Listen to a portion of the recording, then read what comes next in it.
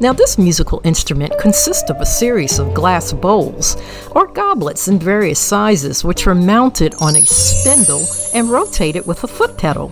The player touches the edges of the spinning bowls with dampened fingers to produce a haunting ethereal sound. The instrument was invented by Benjamin Franklin in 1761 after he saw a musician playing water-filled wine glasses.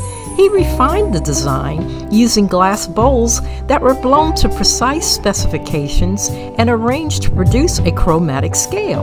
The instrument quickly became very popular, especially in Europe, and was played by famous composers such as Mozart and Beethoven. Some more water, then we put it on.